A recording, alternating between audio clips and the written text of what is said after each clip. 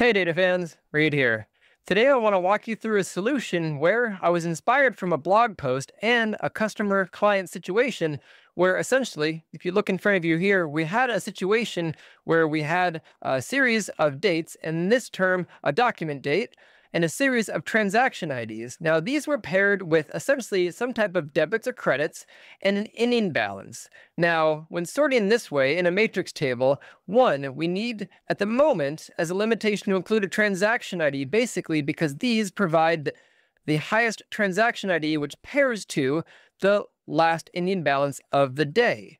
Now, the client specifically didn't want this to show up into here, so we needed to figure out a solution on how to create and add the sort logic into the visualization, reverse the order, and display it into a final form of something like this, where we have the date, we have the final row at the top with that value, but no additional information being shown.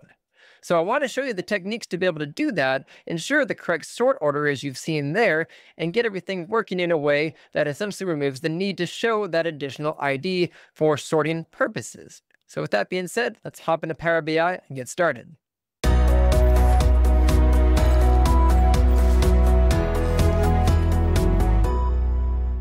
Now, I do want to give a shout out to Daniel here. He did have the article that I came across because I remember somebody writing about how to do invisible sorting, and he had one that talked about using, in this case, the Unicode character 8203, which is a non printable character that essentially allows you to add an invisible sort to a column. So thanks for the article, Daniel. Um, and this is what I got inspired from to essentially do the logic that I'll be showing you. So coming back to Power BI, in this case, again, coming from the start, what we have here is a date, and then a series of transaction IDs. Now, the smallest transaction ID is essentially the first transaction of the day. The largest is the last one of the day. Now, ideally, I would like the latest to actually be at the top because doc date is sorting descending. I would also like this to sort descending. Now, with a normal table, you can do something where if I was to come here, convert it, you can do the nested sort and being able to actually have something where you could have the largest at the top, but that doesn't work with a matrix table. There's no options to be able to do that. You have to pick one or the other. So two problems to solve. One, I want to be able to remove transaction ID and have that level work with region, city, and holdings. Now, if I just take transaction ID out, obviously we now start getting groups that doesn't really work. I have issues with the data. So I need one row per transaction ID without showing the transaction ID and in the reversed order. So coming to the end result here, this now is doing exactly as I just mentioned, where we have region, city, and holdings. There's no extra groupings. It actually does keep a distinct set of rows in here. And it took the last row that I had previously and now puts it at the top. So this is the newest, second newest, third newest, and so on. So final result that we see here. Now, all I had to do was actually create in this case, a special column using that formula that we saw with uh, Daniel's blog article. Now, I'll start with the first one that was actually slow just to show you this. So I took his pattern. I used the repeating of the non-printable character of this, where it, what it will do is it actually adds a number of spaces equal to the transaction ID. That does create a sort order that will work properly with those non-printable characters.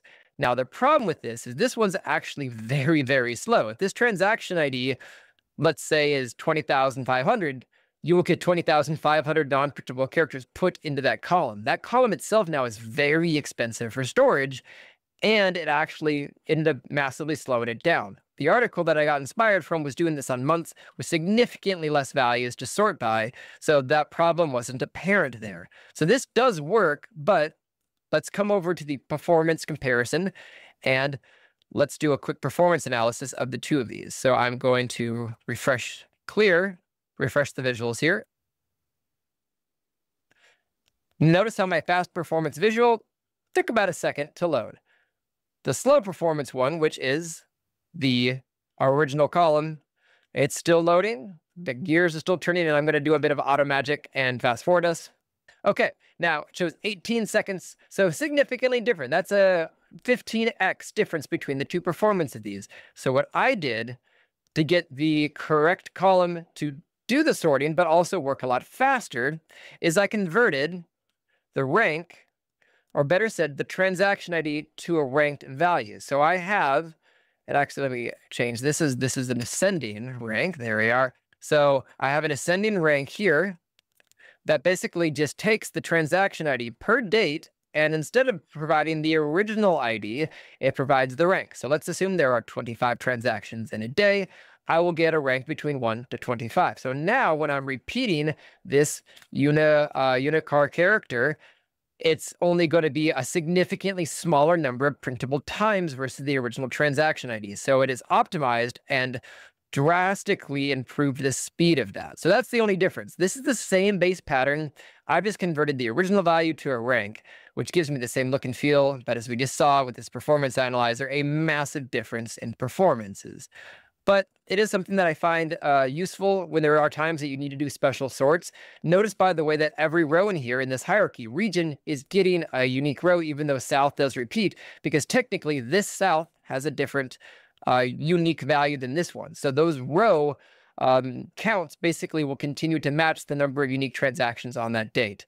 But because we did ascending here rather than descending, that ensures it goes at the top. If I change this, let's just change this to uh, DS, DESC, just to show you the flip of that.